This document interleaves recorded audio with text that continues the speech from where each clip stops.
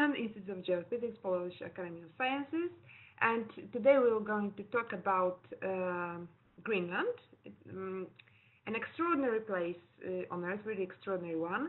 And um, I decided to prepare this lesson because uh, during our lessons we already visited Iceland, for example. Uh, we visited Faroe Islands, so for I think it's time we visit the largest island on Earth. Also, uh, we, visit, we visited almost literally uh, Hornsund uh, on Spitsbergen uh, in Norway ter territory. So Norway, uh, Iceland, Faroe Islands are also extraordinary places in the Arctic, but uh, Greenland is really, really, really, really special. So I hope that um, you understand that it is not possible to talk in detail about all the aspects of this place, but I'd like to show you the most important and most interesting facts um, at least in my opinion. So, uh, so Greenland, here it is, even, it's even marked in green. It is situated between uh, two oceans, uh, Arctic Ocean and uh, Atlantic Ocean. And Arctic Ocean is here, Atlantic Ocean is here. Uh, it's uh, east of, um, of east, situated east of the from the Canadian Arctic archipelago. So physiographically, it's a part of North America continent, so it belongs here. Uh, it's quite large. I don't think we uh, really are aware how large it is. It covers uh, 2 million, um, 2 million 200,000 square kilometers of land. And it's making it 12th largest nation but in terms of land area, um, of course. So it's the world's uh, largest island. Um, Australia, um, Antarctica are larger, of course, but generally are considered to be continental landmasses. And this uh, whole area of Greenland uh, is actually the size of whole Western Europe. Here's a more detailed uh, map. It is, of course, located in uh, both uh, Western, Northern Hemisphere, and it is divided by Arctic Circle. So I said that it is extraordinary in many, many aspects. It, the, the, territory comprises of the biggest, biggest ice mass, ice sheet on Earth. Um, so this bigger, this big island plus um, hundred other small, smaller islands uh, surrounding uh, the main island. So the most obvious thing is, of course, the famous ice sheet. It's so-called inland ice. It's a vast body of ice covering almost 2 million square kilometers, and it's about 80% of surface of Greenland is permanently covered with this, with this permanent inland ice. It's the second largest ice body in the world, um, after the Antarctic ice sheet, of course, it is very thick. You can uh, see here the cross section of it. Here is an underlying uh, rock, and here is the uh, the ice sheet, and it is up to 3.2 kilometers thick. So it is very very uh, thick. Um, it consists of layers of compressed snow for more than 100,000 years. Uh, so this um, this is why the, most of the ice cores come from ice cores uh, that bring us data about uh, climate in, in past uh, comes from uh, comes from Greenland.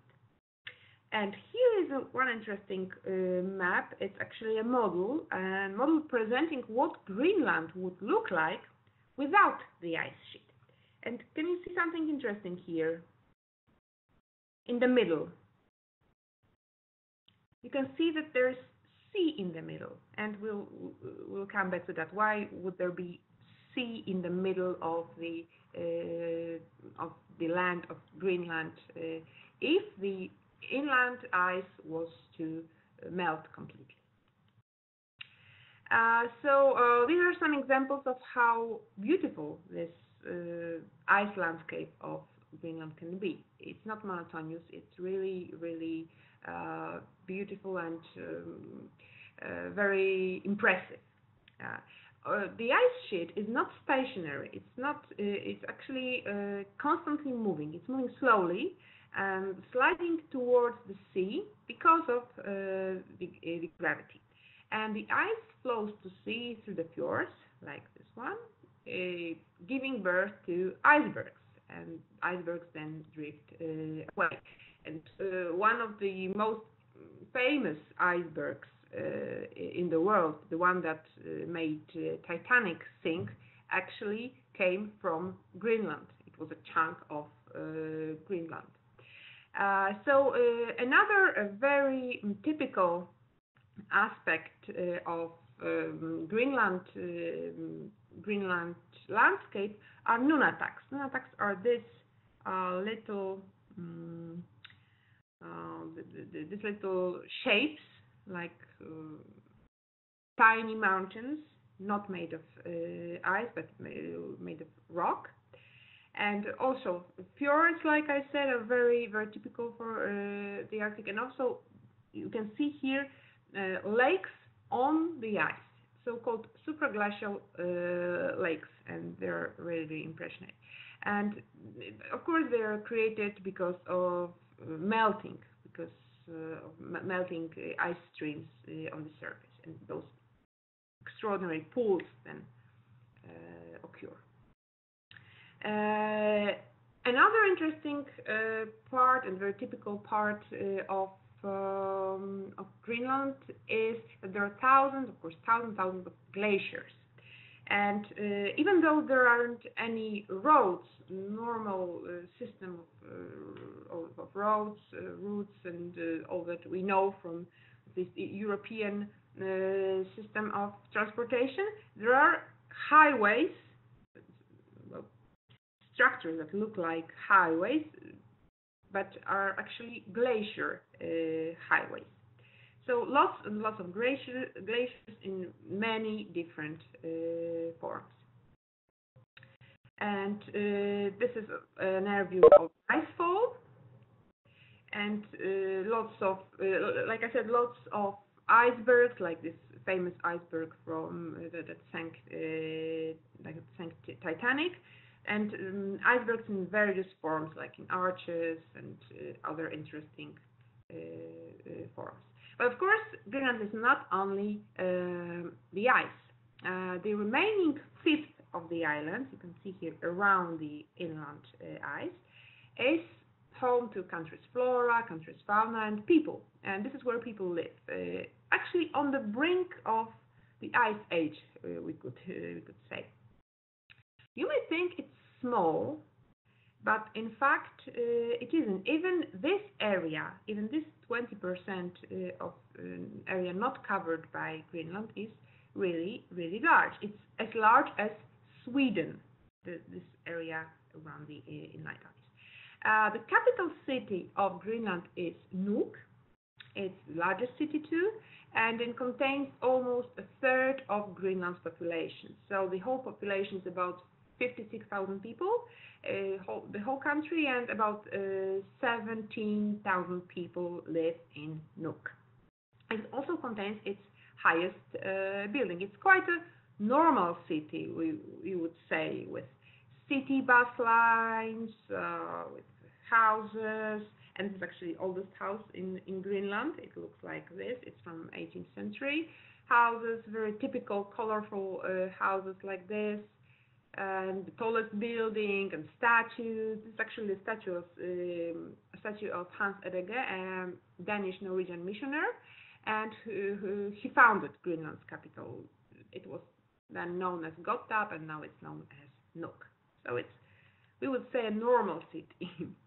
um, also, there's uh, there are other cities smaller than Nuuk, but um, one of the towns, more towns than cities. One of the towns is also the northernmost settlement in the world, and uh, another record broken by uh, Greenland. It is it is called Qaanaaq. Looks like this. People live like this. It's actually for me it's hard to imagine, but yes, they they live on the brink of, of the ice age. Mm. Uh, yes, so I, I mentioned that there, there's ice, so it must be cold, and typically it's very cold. But Greenland has three types of uh, climates. Um, it's polar, Arctic, and subarctic uh, climates. And owing to the size of the country, there are great variations in weather from region to region. It's not that uh, there uh, there's one weather, uh, one type of weather uh, everywhere. The average temperature, though, is minus seven, and for two months, Greenlandic people don't see sunlight because it's polar night. I told you that they're crossed with Arctic circles. So for two months, no sunlight and average temperature minus seven. Uh, even in the warmest months, temperature is under plus 10 uh, Celsius degrees. And uh, also, which is um, what is typical to, for a Greenlandic climate is that it's a very windy island. So the winds like descend from this ice cap and reach the fjords and the sea, and they're called katabatic um, winds. And so strong winds blowing, the air is very cold, very dangerous for human beings actually. Uh, so it's not a very pleasant uh, and I don't want to say place to live because people live there and are really used to it, but uh, it's a very harsh environment. So as you can see, uh, also not a lot of rainfall and uh, temperature not that not that high even in July and August. I mean normally uh, because of course uh, Greenland is also uh, affected by climate change. Um, so uh, Greenland has lived with those extreme environmental changes for, for a decade or more, and the ice is melting one month, one month area. There there's more water in the rivers because they're um, fed by retreating glaciers, and so on and so on. And for example, this is a photo from I think uh, 2014 when the record temperature was recorded in Nuuk. It was plus 24 uh, Celsius degrees in June. So uh, remember, I told you before that normally maximum is plus 10, so 24 was a real treat, and here still uh, the chunk of uh, of the uh, iceberg. So there are constantly new records: the warmest, the wettest, the driest, and mm, actually we all try to fight climate change, which is good, but Greenland isn't very in a rush to fight climate change because actually in this case uh, it might be good for the country's economy. I mean melting the ice cap will be catastrophic for the environment and for the whole world, but for the uh, country's economy, paradoxically, they might profit uh, from climate change because they can grow new new plants, new vegetables. Uh, there are new fish um, they, their economy is based on fishery, and there are new species of fish like mackerel, and the growing season is longer. So actually, uh, the, I think they are uh, one of the nations that is actually uh, quite glad of uh, climate uh, change, warming of uh, global temperature. But of course, there are also some disadvantages brought by climate change, even in Greenland.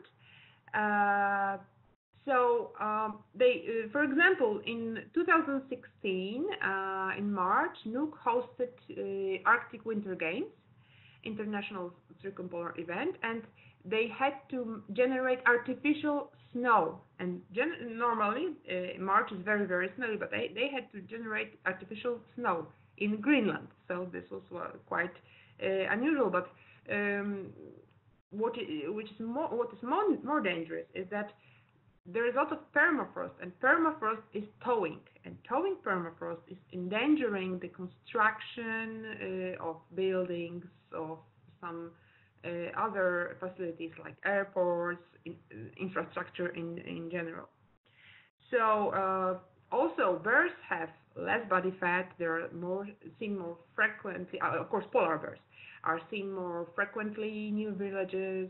They're looking for food. Um, another thing that hunters uh, usually stored their meat they meat of animals they they killed in on the ice. Not, but now they are not able to do that. Uh, basically because hungry polar bears uh, just, just, take it, so they can't store it on, on the ice. And uh, the name, I think that you might wonder why is Greenland called Greenland and for example Iceland called Iceland because this is Iceland and this is Greenland basically. So something's not working with the names.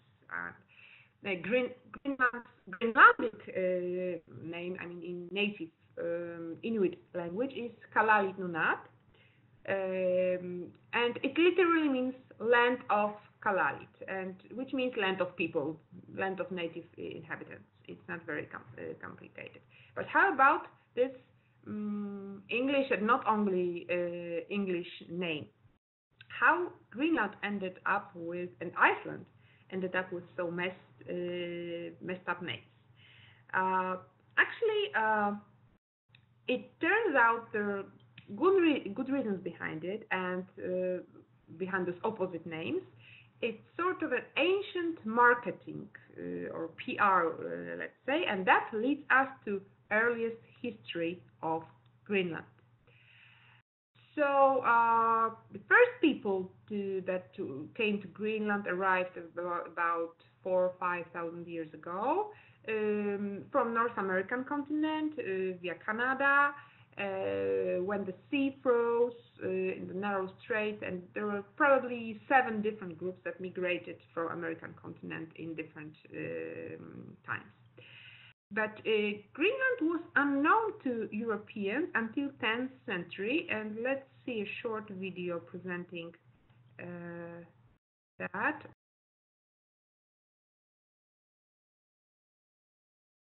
So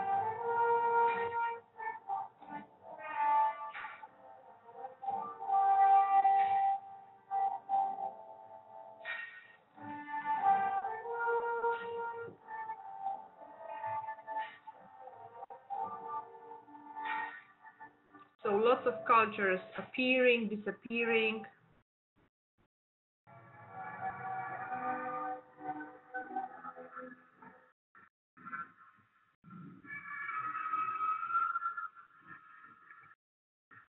Then Danish rule in 14th century.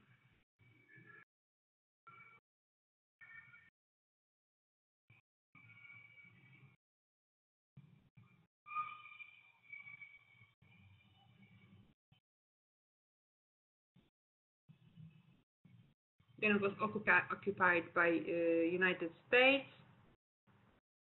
And also United States tried to uh, buy it from, from Denmark, but uh, Denmark did not accept. So the first person to actually discover Greenland from a European perspective was um, Gunnbjorn. Uh, he was sailing from Norway to Iceland, and he saw uh, the, those islands. Report, reported that the, he saw this island, this island, but he did not land. So he was the first person to spot it. But actually, the real, real uh, explorer, uh, a very famous figure for the Arctic, was Eric the Red. In uh, 982, Eric the Red, a Viking, uh, was exiled from Iceland mm, for three years for murders. It's not clear if he murdered someone or his father murdered someone, but uh, generally he uh, he was exiled from Iceland for, for three years. And um, he came, uh, he found uh, he found Greenland during his his exile, his journey, and um, he wanted to attract people to it, um, and so he was like exaggerating a, a, bit. He was exaggerating positive qualities of this new land and not mentioning that there's lots of ice. He was uh, claiming that it's very green, it's uh, there are lots of plants, and this is uh, he, he, named his new uh, this new land Greenland. And knowing that many people living in Iceland would be inspired by this um, paradise uh, vision. Uh, so this so Greenland was actually named by a guy who wanted to trick people uh, into thinking that it was uh, warm, it was full of greenery, and um, so this is this is it. And this is Eric the Red, uh, he, what his name really really is. So as you can see from Iceland uh, to Greenland, it's not that not that far away. So what's it like? Is Greenland a separate country or not?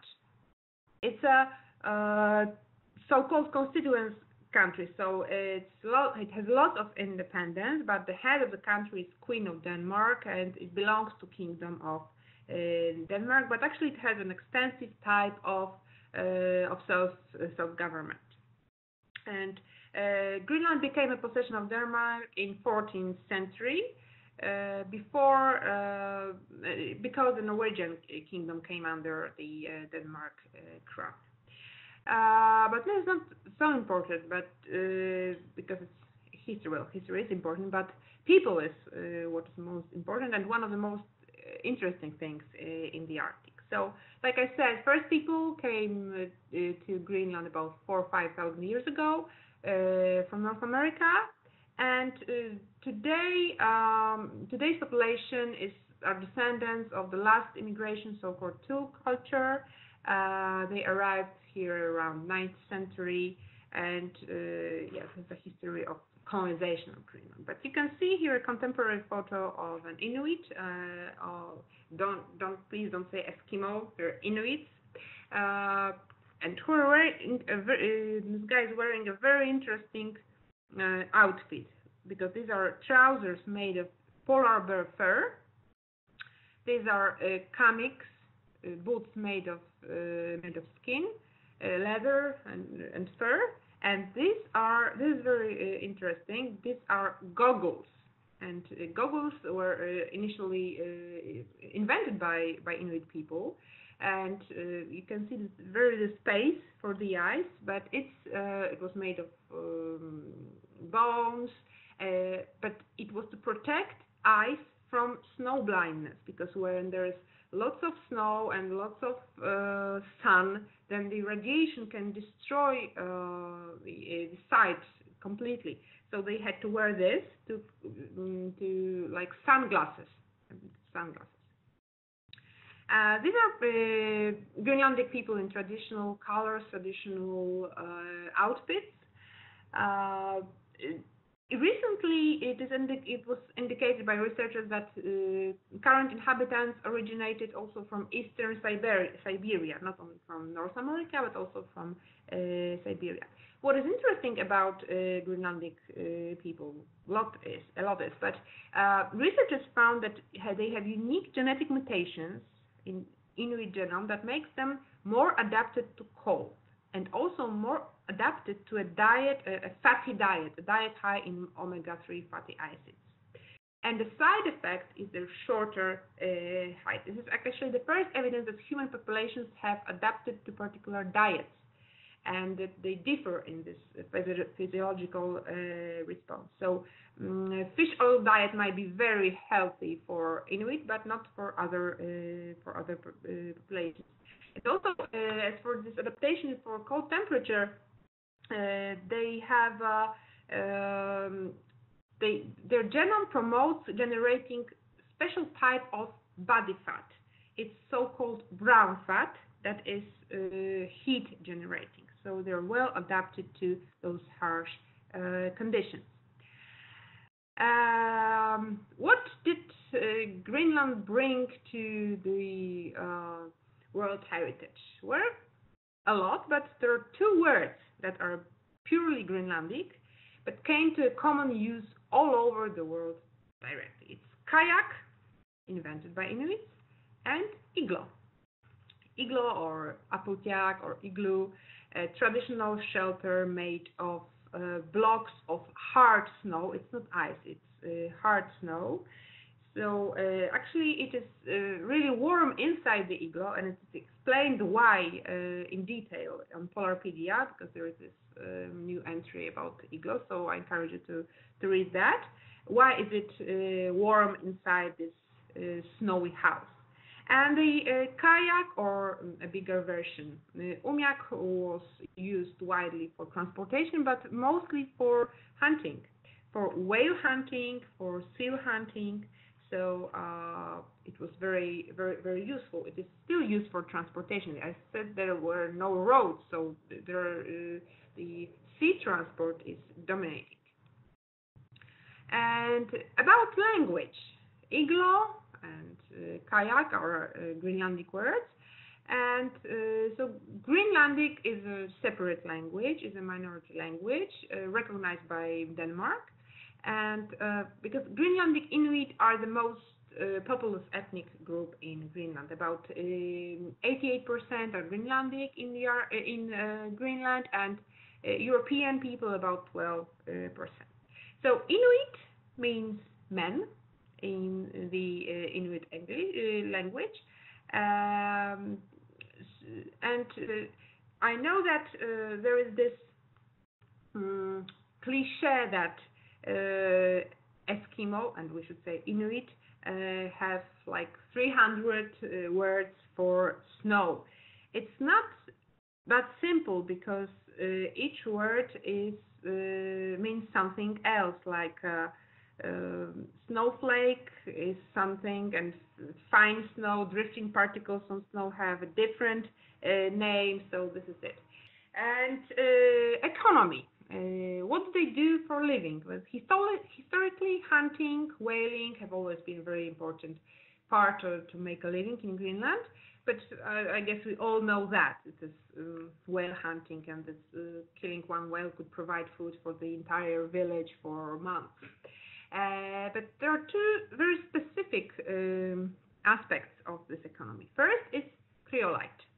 Cryolite is a mineral. It's very, very rare. It's the, one of the rarest minerals in in the world, and uh, it's possibly the only mineral on Earth that was mined to commercial extinction, and it was present only in Greenland. It was uh, uh used to produce aluminium. So this is the first uh, richness of uh, and, and, treasure of, uh, of Greenland, not only whales and, and seals, but also uh, it is interesting that in Greenland, Iron Age came earlier than in other parts of the world. They were actually ahead of the part of the, rest of the world because uh, about five ten thousand years ago, uh, a meteorite crashed to the atmosphere over Greenland. Uh, and it left um, rocks, smaller pieces spread across the inland. But those rocks were not really rocks;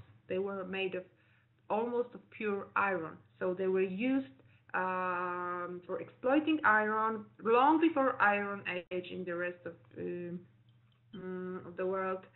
Uh, to produce tools, knives, and they were even trading it, selling it. So uh, it was a really uh, uh, developed. Mm. Okay, I said that uh, despite having this large land, 2 million square kilometers, they have no roads, no railway system, and all travel is done by sea, by boat, by helicopter, by snowmobiles, and very often, really, by still by dog sled, the best transportation uh, in this region. And about other treasures, uh, Greenland is extremely rich in those um, precious gems, and someday uh, it is uh, said that it might even prevail the fisher that might live from uh, exploiting those uh, gems and not from fishery.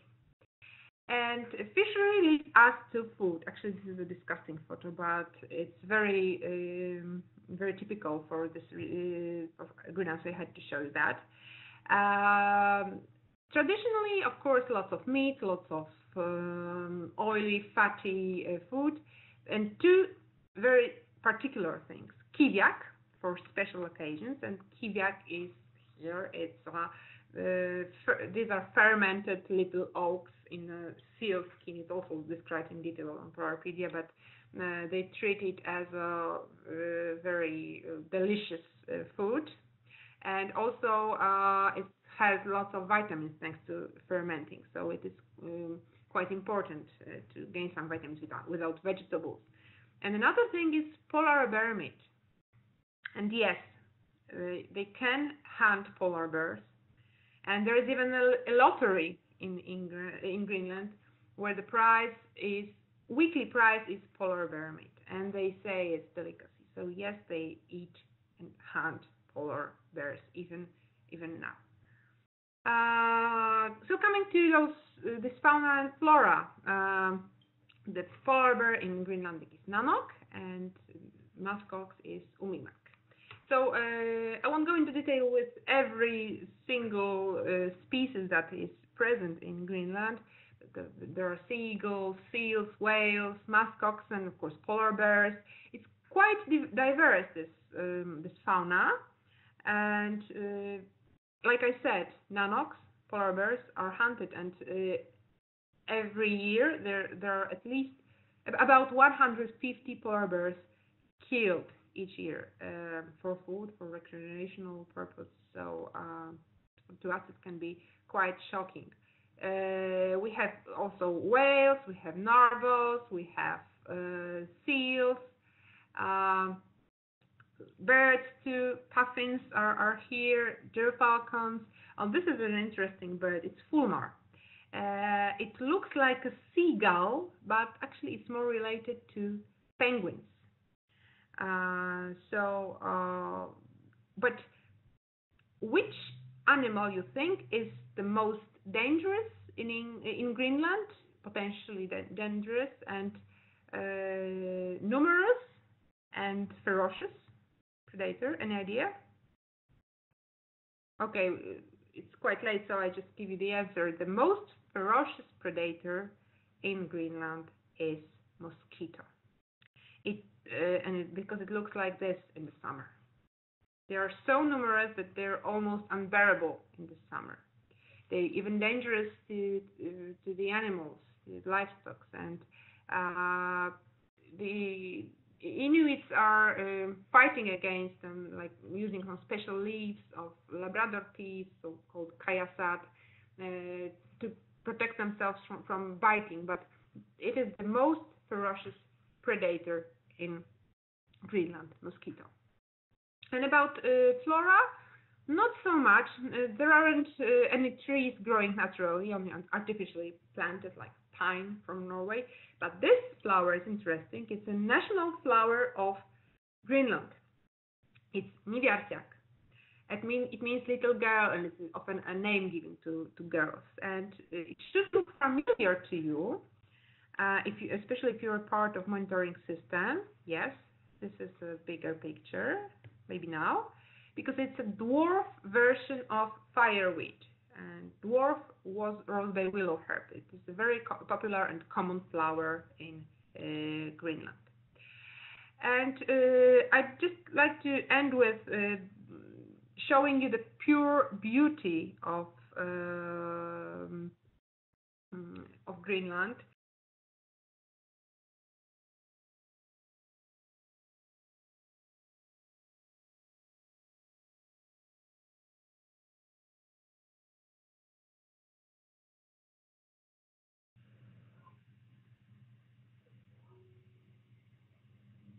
the vanilla tax.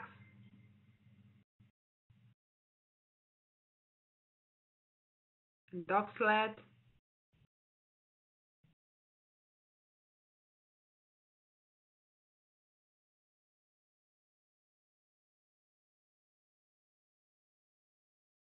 Tourism is getting quite popular in Greenland, so it's not impossible to go there it's not cheap either, but uh, also there are lots of research stations.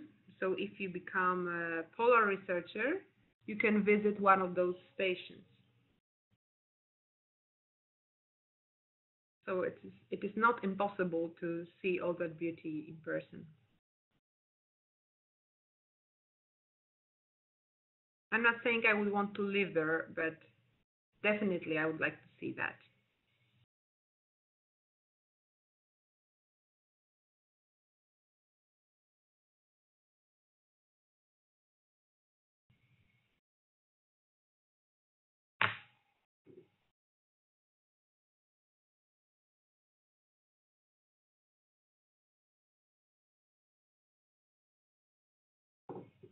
And aurora, of course.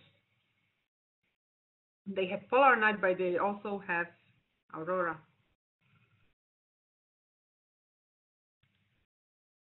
Okay. So that's it from me.